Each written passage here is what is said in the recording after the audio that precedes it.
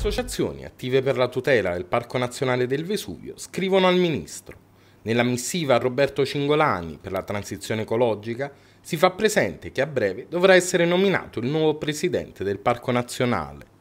Dati i rischi che corre il nostro patrimonio naturale e paesaggistico, è ancora vivo il ricordo dell'incendio che nel 2017 distrusse migliaia di ettari di vegetazione, le associazioni ed i comitati chiedono maggiore attenzione nella nomina del nuovo dirigente. Si chiede una persona esperta e competente nelle materie di tutela ambientale e che sia anche abituata alle meccaniche associative, in modo da poter dialogare con le realtà quotidianamente attive sul territorio. Per le associazioni dovranno essere disposte anche consulte periodiche per valutare di volta in volta i rischi ed i provvedimenti da prendere.